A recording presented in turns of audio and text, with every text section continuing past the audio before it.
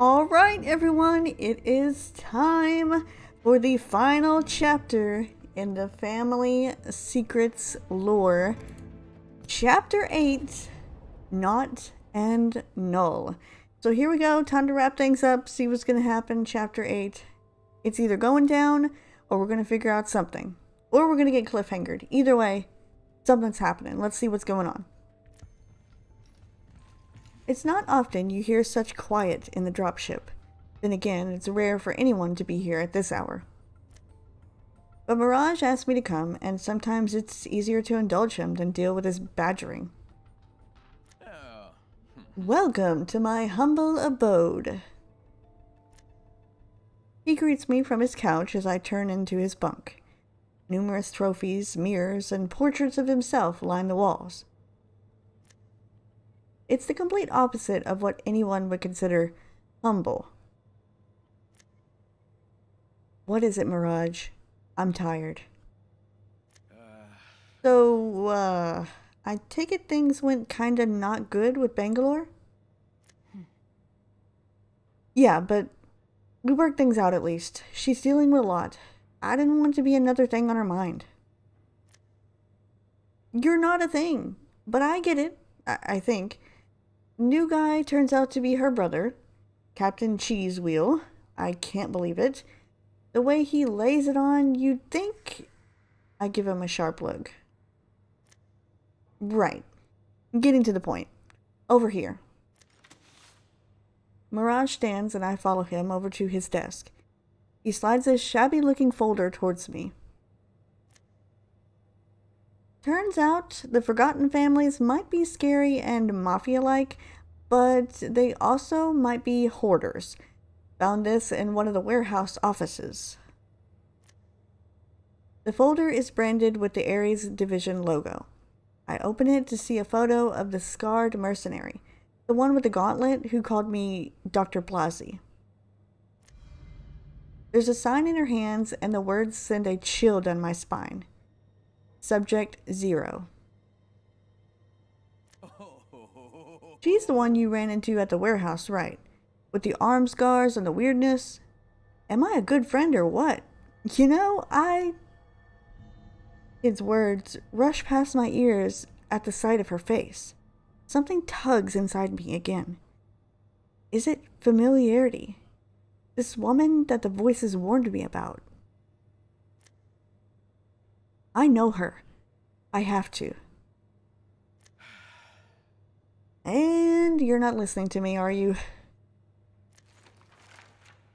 I flip through pages trying to find more, but page after page is redacted.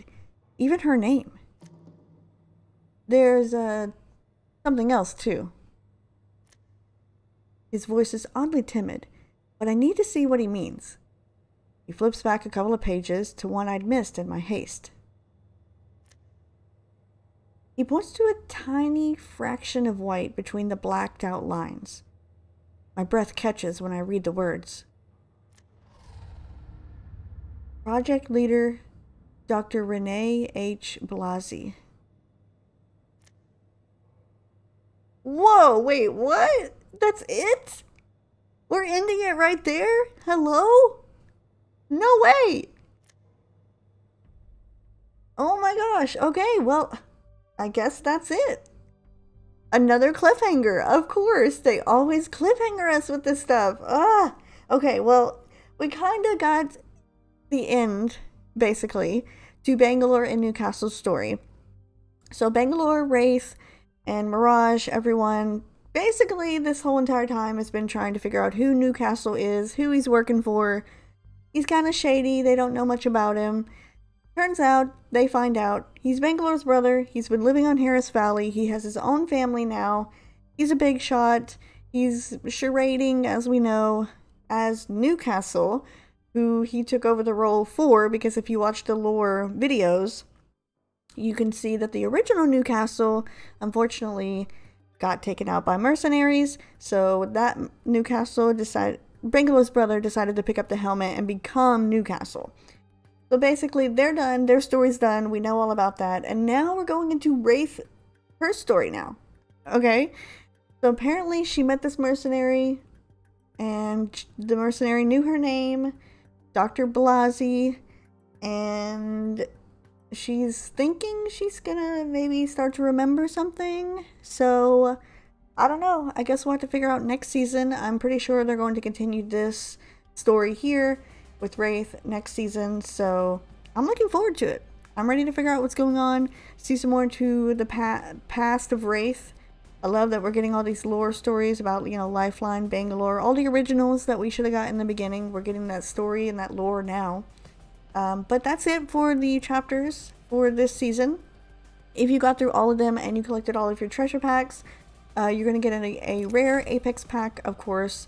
Um, and then you're also going to get this epic wingman skin, which I honestly would pick up and get your packs if I were you because this wingman skin really does look pretty epic.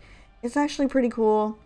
Um, the detail on it and stuff just just as like a free skin like this is basically free um, for everyone to get as long as you pick up the treasure packs so i would highly recommend picking it up it's actually pretty cool i've used it in game a couple couple times and as you can see on it i'm pretty sure that's a mercenary on it i'm not sure who that is uh, but that could be part of the lore there.